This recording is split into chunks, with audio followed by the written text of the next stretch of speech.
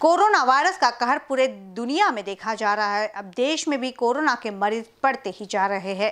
साथ ही राज्य में कोरोना सबसे ज़्यादा मरीज़ है। शहर में भी सोमवार को यह मरीज़ बढ़कर 16 हो गए हैं। शासन, प्रशासन, नेताओं द्वारा जनता से सब अपने अपने तरीके से अपील भी कर रहे हैं। उसी तरह जोन थ्री के डीसीपी राहुल माकनीकर, इन्होंने भी कविता के ज़रिए शहर की जनता से घर में रहने की अपील की है। मैं DCP Rahul Makhnikar zone three Nagpur city से कुछ आपके साथ गुफ्तगू करना चाहता हूँ।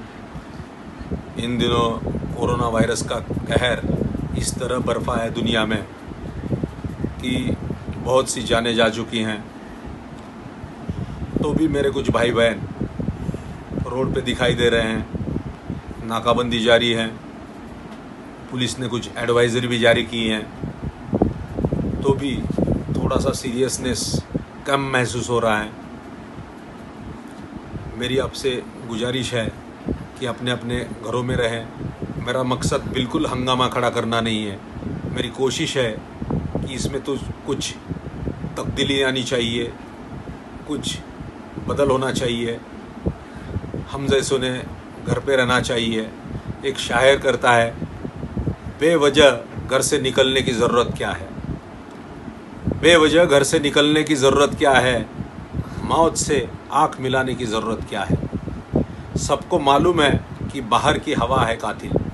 सबको मालूम है कि बाहर की हवा है कातिल। यूँ ही कातिल से उलझने की ज़रूरत क्या है? दिल बहलाने के लिए, दिल बहलाने के लिए घर में वजह है काफ़ी। दिल बहलाने के लिए घर में वजह काफ़ी। यूँ ही गली में भटकने की ज़रूरत क्या है? ज़िंदगी एक नियामत। ज़िंदगी एक नियामत, इसे संभाल के रख। ज़िंदगी एक नियामत, इसे संभल संभाल के रख। कब्रगाहों और शमशानों को सजाने की ज़रूरत क्या है? तूफ़ान के हालात है मेरे दोस्त। तूफ़ान के हालात है, न किसी सफ़र में रहो। ईद के चाँद हो अपने घर के लिए, उनकी खुद किस्मती है कि उनकी नज़र में रहो। माना बंजारों की तरह घूमे हो हर डगर। माना बंजारों की तरह घूमे हो हर हर डगर। वक्त का तकाजा है, अपने ही शहर में रहो, अपने ही घर में रहो। तुमने खाक छानी है हर गली चौबारे की। तुमने खाक छानी है हर गली चौबारे की।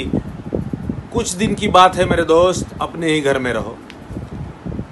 कदम चाह रहे कि बाहर घुमाए कदम चाह रहे हैं कि बाहर घुमाए मन ने कहा, जाना है तो चले जाओ लौट कर ना आ पाओगे। मन ने कहा, जाना है तो चले जाओ, लौट के ना आ पाओगे। रुक जाएँगे तो जीवन को ना खोना पड़ेगा। रुक जाओगे तो जीवन को ना खोना पड़ेगा, वरना कोरोना कहकर तुमको ज़िंदगी भर रोना पड़ेगा। बड़े दौर गुजरे हैं ज़िंदगी के ये दो, ये दौर भी गुजर जाएगा। बड़े दौर गुजरे हैं ज़िंदगी के, ये दौर भी गुजर जाएगा। थाम लो अपने पाँव को घर में, ये मंज़र भी अपने आप थम जाएगा। मेरे दोस्तों, ये बहुत कठिन घड़ी है और इसका कोई इलाज नहीं है। अपने आप को संभालना, यही इसका इलाज है। हमने सोचा सोचा ही न था कि हम बदल सकते थे गिरते गिरते कहीं इंसान संभल सकते थे। हम ठहरे रहे झील के पानी की तरह, दरिया होते तो कहीं दूर निकल चुके होते थे। न सोचो कि पर्वत का झुकाव बदलेगा, न सोचो कि नदी का बहाव बदलेगा। ये आलम ज़रूर बदलेगा, थोड़ा तुम बदलो, थोड़ा हम बदलेंगे। ज़माना अपने आप बदल जाएगा और कोरोना हमसे दूर हो जाएगा। यही विनंती के साथ आपकी रिक्वेस्ट करता हूँ कि आप अपने घरों में रहें, सुरक्षित रहें। Thank you very much.